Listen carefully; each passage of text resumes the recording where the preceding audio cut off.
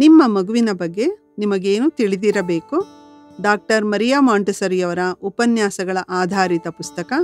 ಅನುವಾದಕರು doctor S. ರೇಖಾರೆಡ್ಡಿ. ಅಧ್ಯಾಯ ಇಪ್ಪತ್ತೊಂದು.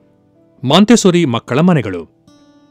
ಮಕ್ಕಳ ಮನೆಯ ಪರಿಸರ ಮತ್ತು ಅಲ್ಲಿರುವ ಸಲಕರಣೆಗಳು ಕೆಲವು ಬಾರಿ ಮಾಂತೆಸೊರಿ ಶಾಲೆಗಳೆಂದು ಕರೆಯಲ್ಪಡುತ್ತವೆ. ಅವು ಹಿಂದಿನ ಅಧ್ಯಾಯಗಳಲ್ಲಿ ತಿಳಿಸಿದ ತತ್ವಗಳ ಮೇಲೆ ಆಧಾರಿತವಾಗಿವೆ. ಕಟ್ಟಡ, ಪೀಠೋಪಕರಣ, ಸಲಕರಣೆಗಳು ಮತ್ತು ಅಲ್ಲಿರುವ ಎಲ್ಲಾ ಅಗತ್ಯಗಳು ಅಲ್ಲಿನ ಮಕ್ಕಳ ವಯಸ್ಸಿಗೆ ದೈಹಿಕ ಪ್ರಮಾಣಕ್ಕೆ ಅನುಗುಣವಾಗಿ ಅವರ ಅಗತ್ಯಕ್ಕೆ ತಕ್ಕಂತೆ ನಿರ್ಮಿಸಲಾಗಿವೆ. ಈ ಸಂಸ್ಥೆಗಳು ಮಕ್ಕಳ ಸ್ವ ಚಟುವಟಿಕೆಗೆ ಮತ್ತು ಸ್ವಯಂ ಪ್ರೇರಿತ ಬೆಳವಣಿಗೆಗೆ ಅವಕಾಶವನ್ನು ಒದಗಿಸುತ್ತವೆ. ಇಲ್ಲಿನ ಪರಿಸರದಲ್ಲಿ ಸ್ವಾತಂತ್ರ್ಯ, ಶಿಸ್ತು ಮತ್ತು ಆರೋಗ್ಯವಂತ ಬೆಳವಣಿಗೆಯ ಚಿಹ್ನೆಯಾದ ಸಂತಸವಿದೆ. ನೈತಿಕತೆ ಮತ್ತು ವ್ಯಕ್ತಿತ್ವದ ಮೂಲವಾದ ಪರಸ್ಪರ ಅರ್ಥಮಾಡಿಕೊಳ್ಳುವುದಕ್ಕೆ ಸಹಯೋಗ ಮತ್ತು ಸಹಕಾರಕ್ಕೆ ಅಗತ್ಯವಾದ ಪರಿಸ್ಥಿತಿಯನ್ನು ಒದಗಿಸುತ್ತವೆ. ಮಾಂತೊಸುರಿ ಮಕ್ಕಳ ಮನೆಗಳಿಗೆ ಭೇಟಿ ಕೊಟ್ಟು ಸ್ವತಃ ಪರೀಕ್ಷಿಸಿದರೆ ಮಾತ್ರ ಅಲ್ಲಿನ ಚಟುವಟಿಕೆಗಳ ಉದ್ದೇಶವನ್ನು ಅರಿಯಲು ಸಾಧ್ಯ. ಬಾಲ್ಯದ ಅಗತ್ಯಗಳ ಜ್ಞಾನದ ಆಧಾರದ ಮೇಲೆ ಅಲ್ಲಿನ ಸಲಕರಣೆಗಳು, ಶೈಕ್ಷಣಿಕ ವಸ್ತುಗಳು ಅಭಿವೃದ್ಧಿ ಹೊಂದಲ್ಪಟ್ಟಿವೆ. ಈ ಪುಸ್ತಕ ಕೇವಲ ಒಂದು ಪದ್ಧತಿಯ ಪುಸ್ತಕವಲ್ಲ, ಇದು ತತ್ವಗಳನ್ನು ಒಳಗೊಂಡಿವೆ. ತತ್ವಗಳನ್ನು ಅಭ್ಯಸಿಸುವಾಗ ಮಕ್ಕಳ ಮನೆಯಲ್ಲಿ ಕೊಟ್ಟಿರುವ ಚಟುವಟಿಕೆಗಳ ಹಿಂದಿರುವ ಕಾರಣವನ್ನು ಅರಿಯುವುದು ಅಗತ್ಯ. ಈ ಚಟುವಟಿಕೆಗಳು ಆರೋಗ್ಯ, ಶುಚಿತ್ವ ಮತ್ತು ಪ್ರಕೃತಿಯ ವಸ್ತುಗಳೊಂದಿಗೆ ನೇರ ಸಂಬಂಧವನ್ನು ಒದಗಿಸುವುದೇ ಅಲ್ಲದೆ ಐಂದ್ರಿಕ ಚಟುವಟಿಕೆಗಳು ಮತ್ತು ದೈನಂದಿನ ಚಟುವಟಿಕೆಗಳೆಂದು ವಿಂಗಡಿಸಲ್ಪಟ್ಟಿವೆ. ಇಲ್ಲಿ ಈ ದೈನಂದಿನ ಚಟುವಟಿಕೆಗಳಿಗೆ ಮತ್ತು ಐಂದ್ರಿಕ ಚಟುವಟಿಕೆಗಳಿಗೆ ವೈಜ್ಞಾನಿಕ ಅಡಿಪಾಯ ಇರುವುದನ್ನು ಅರಿಯುವುದು ಮುಖ್ಯ. ಇಂದ್ರಿಯಗಳಿಗಿಂತ ಮೊದಲು ಯಾವುದೂ ನಮ್ಮ ಬುದ್ಧಿಯನ್ನು ಸೇರಲಾರದು ಎಂದು ಶ್ರೇಷ್ಠ ವಿಚಾರವಂತರು ಹೇಳಿದ್ದಾರೆ. ಹೊರ ಪ್ರಪಂಚದ ಬಗ್ಗೆಯ ನಮ್ಮ ಜ್ಞಾನದ ಎಲ್ಲಾ ಅಂಶಗಳು ನಮ್ಮ ಇಂದ್ರಿಯಗಳ ಮೂಲಕ ಪಡೆದಂತಹವು.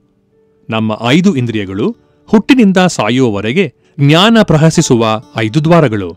ಈ ಇಂದ್ರಿಯಗಳಿಂದ ಪಡೆದ ಜ್ಞಾನವನ್ನು ಬುದ್ಧಿ ಸಂಗ್ರಹಿಸಿ, ಪರಿಷ್ಕರಿಸಿ ಜ್ಞಾನವನ್ನು ರೂಪಿಸುತ್ತವೆ. ಇಂದ್ರಿಯಗಳ ಪ್ರಾಮುಖ್ಯವನ್ನು ಅರಿತುಕೊಳ್ಳಲು ಒಬ್ಬ ಹುಟ್ಟು ಕುರುಡನ ದೃಷ್ಟಾಂತವನ್ನು ತೆಗೆದುಕೊಳ್ಳೋಣ. ಇವನಿಗೆ ಪ್ರಪಂಚದ ಸಂಪೂರ್ಣ ಜ್ಞಾನ ಇರುವುದಿಲ್ಲ. ಬಣ್ಣಗಳನ್ನಾಗಲಿ, ಆಕಾರಗಳನ್ನಾಗಲಿ ಆತ ನೋಡಲಾರ. ಕಣ್ಣಿಗೆ ಕಾಣಿಸುವ ನೀಲಿ ಬೆಟ್ಟಗಳು, ಸೂರ್ಯೋದಯ, ಸೂರ್ಯಾಸ್ತಮಗಳು, ಹೂಗಿಡಗಳು, ಚಿತ್ರಗಳು, ಶಿಲ್ಪಕಲೆಯೇ ಮುಂತಾದವುಗಳ ಅಸ್ತಿತ್ವದ ಅರಿವೇ ಅವನಿಗೆ ಇರುವುದಿಲ್ಲ. ನೋಡಲು ಅಶಕ್ತನಾಗಿರುವುದರಿಂದ ಅವನಿಗೆ ಪ್ರತ್ಯಕ್ಷ ಕಾಣಿಸುವ ಯಾವುದೇ ವಸ್ತುವನ್ನು ನೆನಪಿನಲ್ಲಿಟ್ಟುಕೊಳ್ಳಲು ಸಾಧ್ಯವಿಲ್ಲ.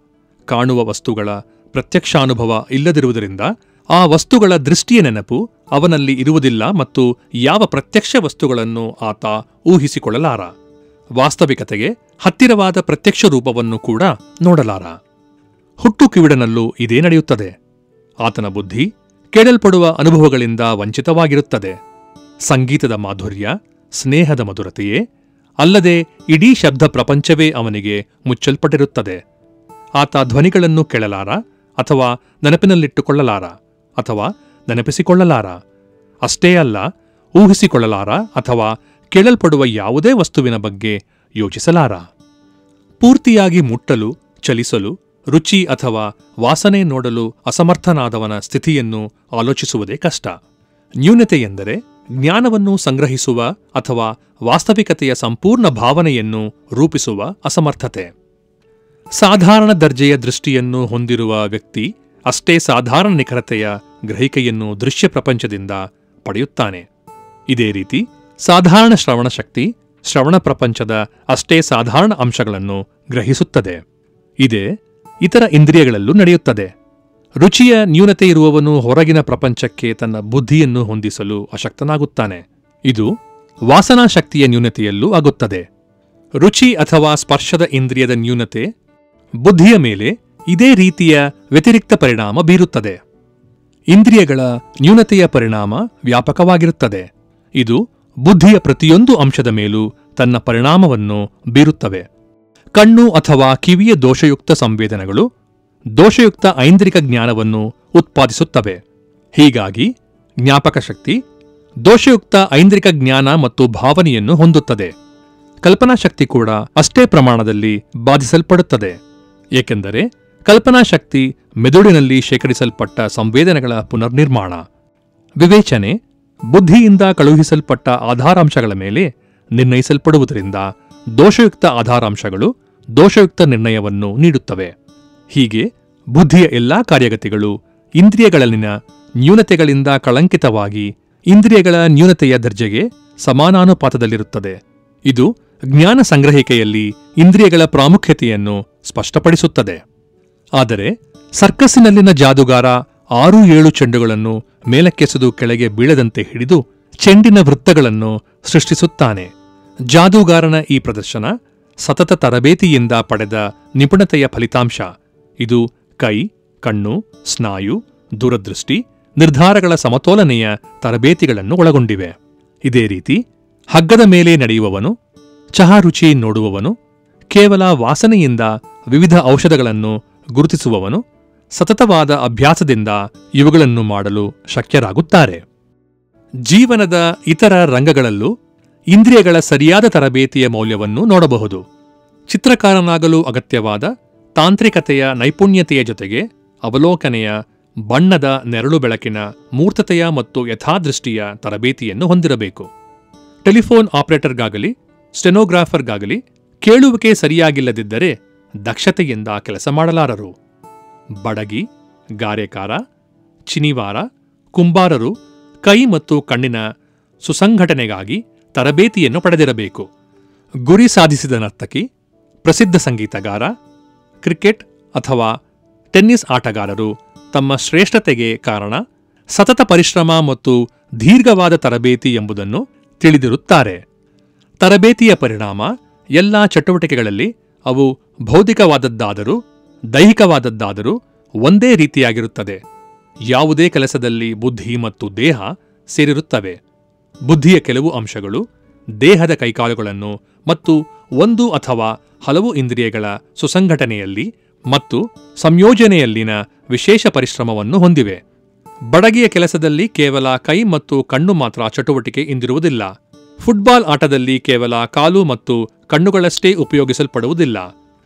ಸ್ಪಷ್ಟವಾಗಿ ಹೇಳಬೇಕೆಂದರೆ, ಕೆಲವು ಇಂದ್ರಿಯಗಳು ಮತ್ತು ಕೈಕಾಲುಗಳು ವಿಶೇಷವಾದ ಕಾರ್ಯವನ್ನು ನಿರ್ವಹಿಸುತ್ತವೆ. ಆದರೆ ಸಂಪೂರ್ಣ ದೇಹ ಮತ್ತು ಬುದ್ಧಿ ಸಾಧಾರಣವಾಗಿ ಚಟುವಟಿಕೆಯಲ್ಲಿ ಮತ್ತು ದಕ್ಷತೆಯಲ್ಲಿ ಪಾಲುಗೊಂಡಿರುತ್ತವೆ. ಅದು ಹೇಗೆ ಸಣ್ಣ ದೊಡ್ಡವರಲ್ಲ ಒಬ್ಬ ತರಬೇತಿ ಪಡೆದಿರುವವ ಕೇಳಿಸಿಕೊಳ್ಳುವುದನ್ನು ಗ್ರಹಿಸುವುದರಲ್ಲಿ ಸೋಲುತ್ತಾರೆ.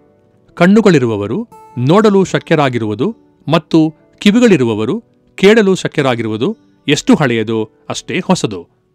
ಎಲ್ಲ ಅಪರಿಪೂರ್ಣ ದೋಷಯುಕ್ತ ಜ್ಞಾನದ ಹಿಂದೆ ತಪ್ಪು ಗಮನ, ತಪ್ಪಾದ ಅವಲೋಕನ ಇರುತ್ತದೆ. ಆದುದರಿಂದ ಮಕ್ಕಳ ಮನೆಗಳಲ್ಲಿರುವಂತಹ ಬುದ್ಧಿಯನ್ನು ಯಾವುದಕ್ಕೆ ಅವಲೋಕಿಸಬೇಕೋ ಅದನ್ನು ತನ್ನಷ್ಟಕ್ಕೆ ಅವಲೋಕಿಸಲು ನಿರ್ದೇಶಿಸುವಂತಹ ಸಿದ್ಧಪಡಿಸಿದ ಪರಿಸರಗಳ ಅಗತ್ಯವಿದೆ.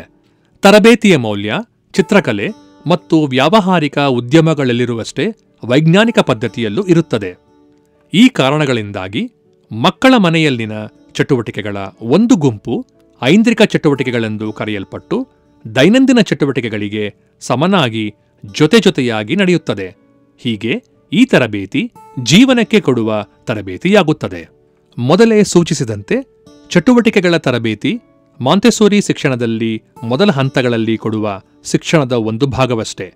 ಈ ತರಬೇತಿ ವ್ಯಾಪಕವಾಗಿ, ನೇರವಾಗಿ ನಡೆದು ಮಗುವನ್ನು ಮೂರ್ತ ಮತ್ತು ಅಮೂರ್ತ ಅಂಶಗಳಿಗೆ ಮುಖಾಮುಖಿಯನ್ನಾಗಿಸುತ್ತದೆ. ಮಾಂತೆಸೊರಿ ಶಿಕ್ಷಣ, ಹಿಂದಿನ ಹಳೆ ಶಿಕ್ಷಣ ಪದ್ಧತಿಗಳಂತೆ ಪದಗಳಲ್ಲಿ ಪದಗಳಿಂದ ಆದಂತಹ ಶಿಕ್ಷಣವಲ್ಲ. ಇದು ಮುಖ್ಯವಾಗಿ ಸಲಕರಣೆಗಳಿಂದ ಸಲಕರಣೆಗಳ ಮೂಲಕ ಕೊಡಲ್ಪಡುತ್ತದೆ. ಇದರ ಭಾವವನ್ನು ಹಿಂದಿನ ಅಧ್ಯಾಯಗಳಲ್ಲಿ ತಿಳಿದುಕೊಂಡಿದ್ದೇವೆ. ಭಾಷೆಯ ಪ್ರಾಮುಖ್ಯತೆಯನ್ನು ಮನಗಂಡಿದ್ದೇವೆ ಮಾಂತೆಸೊರಿ ಶಾಲೆಗಳಲ್ಲಿ ವೈಜ್ಞಾನಿಕವಾಗಿ ನಿರ್ಮಿಸಲ್ಪಟ್ಟ, ಸಂಗ್ರಹಿಸಲ್ಪಟ್ಟ, ವಿಂಗಡಿಸಲ್ಪಟ್ಟ ವಸ್ತುಗಳು ಮತ್ತು ಸಲಕರಣೆಗಳು ಒಂದು ನಿಶ್ಚಿತ ಉದ್ದೇಶಕ್ಕಾಗಿ ಮತ್ತು ಯೋಜನೆಗಾಗಿ ಮಕ್ಕಳ ಕೊಠಡಿ ಅಥವಾ ಪರಿಸರದಲ್ಲಿ ಇಡಲ್ಪಟ್ಟಿರುತ್ತವೆ. ಒಳ್ಳೆಯ ಮಾಂತೆಸೋರಿ ಮಕ್ಕಳ ಮನೆಗಳ ನಕ್ಷೆ, ಕಟ್ಟಡ ಮತ್ತು ಸಲಕರಣೆಗಳು ಬಾಲ್ಯದ ಬೆಳವಣಿಗೆಯ ವಿವಿಧ ಹಂತಗಳ ಅಗತ್ಯಗಳ ಮೇಲೆ ಸ್ಥಾಪಿಸಲ್ಪಟ್ಟಿವೆ. ಹಳೆ ಶಿಕ್ಷಣದಲ್ಲಿ ಬೋಧಿಸುವ ಶಿಕ್ಷಕ ಮತ್ತು ಕಲಿಯುವ ವಿದ್ಯಾರ್ಥಿಗಳಿಗೆ ಪ್ರಾಶಸ್ತ್ಯವನ್ನು ಕೊಡಲ್ಪಟ್ಟಿತ್ತು. ಮಾಂತೆಸೊರಿ ಪದ್ಧತಿ ಮಗುವಿನಿಂದಾದ ಅವಲೋಕನ ಅಂದರೆ ಅಬ್ಸರ್ವೇಷನ್ಸ್ಗೆ ಮತ್ತು ಆವಿಷ್ಕಾರಗಳಿಗೆ ಅಂದರೆ ಡಿಸ್ಕವರೀಸ್ಗೆ ಪ್ರಾಶಸ್ತ್ಯವನ್ನು ಕೊಟ್ಟಿದೆ. ಇದು ಮಗುವಿಗೆ ಸೌಲಭ್ಯಗಳನ್ನು ಒದಗಿಸುವುದಕ್ಕೆ, ಮಗುವನ್ನು ತರಗತಿಯ ನಿರ್ದೇಶಕಿಯಿಂದ ರಕ್ಷಿಸುವುದಕ್ಕೆ ಪ್ರಾಶಸ್ತ್ಯವನ್ನು ಕೊಟ್ಟಿದೆ. ಮಾಂತೆಸೋರಿ ಪದ್ಧತಿಯೇ ಒಂದು ಅವಲೋಕನದಿಂದ, ಆವಿಷ್ಕಾರದಿಂದ ಆದಂತಹ ಪದ್ಧತಿ. ಈ ಪುಸ್ತಕದ ಅಧ್ಯಾಯಗಳಲ್ಲಿ ತಿಳಿಸಿರುವ ತತ್ವಗಳು ಮೊದಲೇ ರೂಪಿಸಲ್ಪಟ್ಟು, ಆನಂತರ ಶಿಕ್ಷಣಕ್ಕೆ ಅಳವಡಿಸಲ್ಪಟ್ಟು ಮಾಂತೆಸೊರಿ ಪದ್ಧತಿಯಾಗಿಲ್ಲ.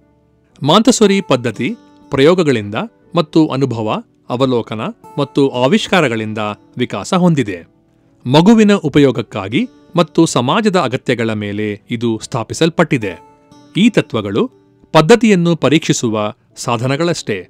ಇದರ ಗೆಲುವಿನ ನಿದರ್ಶನ ಮಗುವಿನ ಬೆಳವಣಿಗೆಯಲ್ಲಿ, ಮಗು ಸಾಧನೆಯಲ್ಲಿ ತೋರಿಸುವ ಪ್ರೀತಿಯಲ್ಲಿ ಮತ್ತು ಸಮಾಜದ ಸೇವೆಯಲ್ಲಿದೆ. ಮೂಲಭೂತವಾಗಿ ಮಾಂತೆಸೊರಿ ಶಿಕ್ಷಣ ಒಳಗಿನ ಉದಾತ್ತ ಜೀವನವನ್ನು ಶಕ್ತಿಯುತವನ್ನಾಗಿಸಿ ಚೈತನ್ಯವನ್ನು ತುಂಬುತ್ತದೆ.